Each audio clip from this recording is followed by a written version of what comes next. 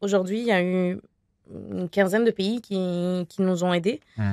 euh, contrairement à la Turquie qui a reçu plus d'aide de, 50 pays. Donc, euh, je trouve ça injuste, inhumain envers nous. Alors, il a dit avec euh, le, langage assez direct qui est le sien, il a dit je vais à Marseille mais je vais pas en France parce que depuis Marseille, il va tourner son regard vers tous les pays du pourtour de la mer Méditerranée, c'est-à-dire notamment des pays une fois encore qui vont plutôt vers l'hémisphère sud. En hiver, donc vous avez la nuit polaire, il n'y a plus de soleil qui arrive au niveau de l'Arctique, et vous avez une poche d'air très très froid qui se forme dans la stratosphère, en haute altitude, vers 30 km.